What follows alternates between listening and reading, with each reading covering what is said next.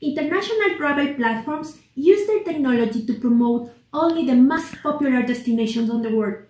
Unfortunately, they exclude fantastic offers of small tourist suppliers, usually located in rural communities, restraining their right to improve their living conditions through the incomes generated by tourism.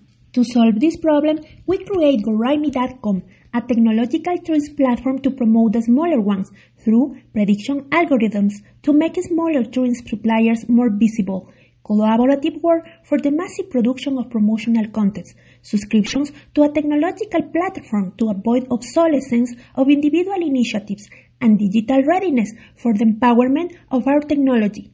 In just two years, we have raised more than $400,000 thanks to subscription sales and international grants.